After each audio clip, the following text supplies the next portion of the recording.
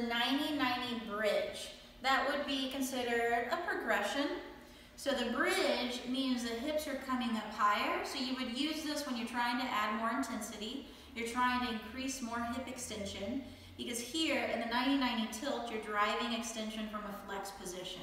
When you bridge people up, you're getting closer and closer to terminal hip extension.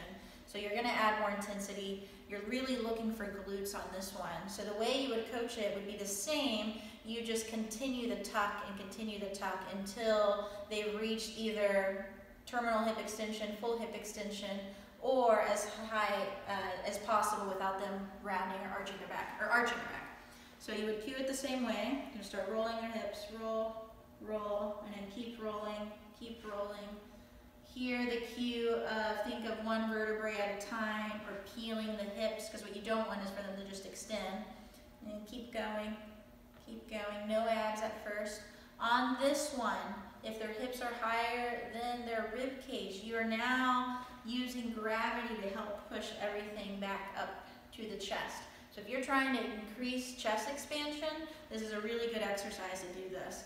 When someone bridges up, I usually tend to take pillows away because now you're bringing the rib cage closer to their chin.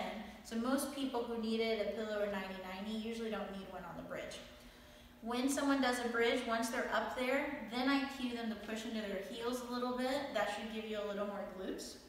Good, so once they have glutes, breathing is the same. It's a breath in through their nose, get it all out, deflate, deflate, deflate. If you had an issue with clients pooching their belly out or belly breathing, this might help if they're able to do this correctly because now you've opened up the low back to expand. Maybe that's what they needed to not uh, expand through their belly. Full breath out, keep going. It's a really good variation if maybe the client is not ready to squat or deadlift. And if they're not ready to squat and deadlift, that means they're very deconditioned. That means they're gonna be crushed with this variation.